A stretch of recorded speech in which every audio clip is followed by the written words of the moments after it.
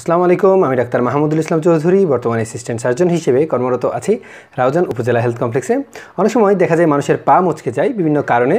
দেখা যায় খেলাধুলা করতে গিয়ে পা মুচকাতে পারে, অথবা দেখা যায় পড়ে গিয়ে অনেকে পা মুচকে যায়, অথবা অনেকে আঘাত পেয়ে পা মুচকাতে পারে।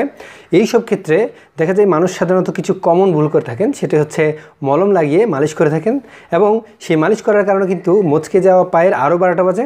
আজকে আমি কিছু টিপস শেয়ার করব যেগুলো যদি আপনি করেন তাহলে সেক্ষেত্রে আপনার যখন পা মুচকে যাবে তখন তাৎক্ষণিকভাবে আপনি ঘরে কি ধরনের ঘরোয়া প্রাথমিক চিকিৎসা করবেন সেই বিষয়গুলো নিয়ে আলোচনা করব। একই সাথে বলব যে কোন সময় আপনার ডাক্তারের কাছে যেতে হবে এবং এই ধরনের ঘরোয়া চিকিৎসার পরে অবশ্যই আপনি একজন ডাক্তারকে দেখাবেন এবং প্রয়োজনীয় টেস্ট করবেন প্রয়োজনীয় জায়গায় এক্স রে বা যা করা লাগে সেগুলো অবশ্যই একজন ডাক্তার পরামর্শ দিবেন। সেই অনুযায়ী আপনি পরবর্তী চিকিৎসা নেবেন। কিন্তু প্রাথমিকভাবে কিছু টিপস ফলো করলে আপনি কিন্তু সেই আপনার যে পা মচকে গেছে সেটা কিন্তু মারাত্মক ক্ষতি থেকে আপনি রক্ষা করতে পারবেন। কখনো যদি আপনার পা মুচকে যায়, তাহলে ঘরোয়া চিকিৎসার জন্য আপনি তিনটি জিনিস মাথায় রাখবেন। একটি হচ্ছে, আপনি যখনই আপনার পা মুচকে যাবে বা পায়ের গোড়ালি মুচকে যাবে, তখন কিন্তু অনেক সময় অনেক ব্যথা হতে পারে। একই সাথে কিন্তু পা ফুলে যেতে পারে। তখন আপনি খেয়াল করবেন যে যতটা সম্ভব কম নড়াচড়া করতে এবং সম্পূর্ণ বিশ্রামে থাকার চেষ্টা করবেন। চেষ্টা করবেন একটি বিছানায় শুয়ে পাটাকে সোজা রেখে কিন্তু আপনি যতটা কম নড়াচড়া করতে পারেন। শুধুমাত্র আপনার ওয়াশরুমে যাওয়া ছাড়া অন্য ধরনের চলাফেরা কিন্তু আপনি তখন না করলেই বেটার। দুই নম্বর যে পরামর্শটি, সেটি হচ্ছে আপনি যখনই দেখছেন যে আপনার পা ফুলে যাচ্ছে বা আপনার পা অনেক ব্যথা করছে, তখন কিন্তু আপনি যেটা করবেন সেটা হচ্ছে একটি বালিশের উপর পাটাকে রাখবেন, রেখে পাটা আপনার বডির অন্যান্য অংশের থেকে একটু উঁচু রাখবেন। একটু উঁচু, পাটা এভাবে একটু উঁচু থাকবে। আপনার বডি যদি এটা হয়ে থাকে, তাহলে সেক্ষেত্রে কিন্তু আপনার পাটা হবে একটু উঁচুতে।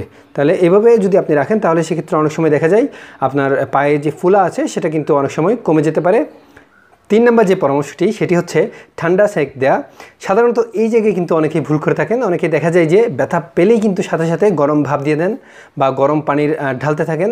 এই ধরনের গরম ভাব বা গরম পানি কিন্তু আপনি এই জায়গায় ঢালতে পারবেন না বা দিতে পারবেন না। এই জায়গায় কিন্তু উল্টা ঘটনা ঘটবে এবং আপনার সমস্যা কিন্তু আরও বাড়িয়ে দিতে পারে। এই ধরনের গরম ভাব দিলে অনেক সময় ব্যথা কমে, কিন্তু সেটা কিন্তু এই ক্ষেত্রে নয়। সেটা হচ্ছে অনেক দিন ধরে যদি আপনার ব্যথা থাকে, সেটাকে আমরা বলে থাকি ক্রনিক ব্যথা, ক্রনিক পেইন। অনেক দিন ধরে ব্যথা আপনি ওষুধ খাচ্ছেন বা ভালো হচ্ছে ভালো হচ্ছে না, এই ধরনের ব্যথার ক্ষেত্রে কিন্তু আপনি গরম ভাব দিতে পারেন, সেটা সমস্যা নেই। কিন্তু এখন যে আলোচনাটা করছি, সেটি হচ্ছে আপনার কখনো যদি হঠাৎ করে আপনি ব্যথা পান বা হঠাৎ করে পা মুচকে যায় বা হঠাৎ করে আপনার পায়ের গোড়ালি মুচকে গেছে অথবা লিগামেন্টে আপনি হঠাৎ করে ব্যথা পেয়েছেন অথবা ব্যথা পাওয়ার কারণে হঠাৎ করে আপনার পা ফুলে গেছে, সেই ক্ষেত্রে কিন্তু আপনি গরম ভাব দিবেন না। আপনি অবশ্যই সেক্ষেত্রে চেষ্টা করবেন ঠান্ডা ভাব দেওয়ার জন্য। ঠান্ডা ভাবটা কীভাবে দিবেন?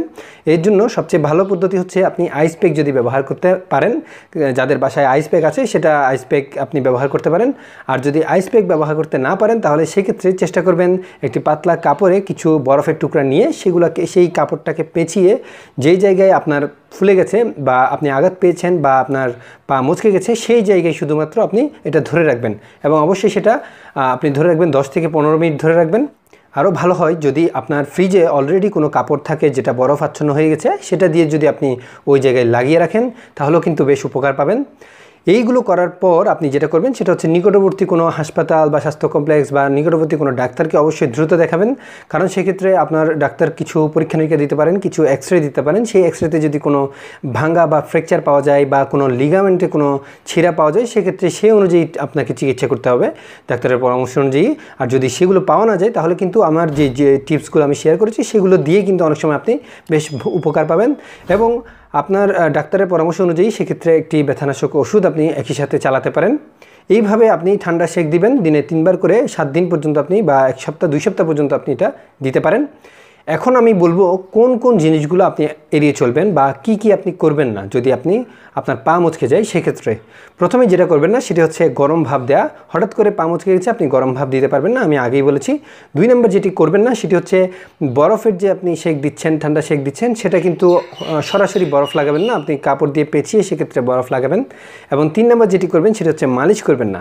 অনেকে দেখা যায় তেল দিয়ে মালিশ করেন এটা কিন্তু করা যাবে না, মালিশ করবেন না।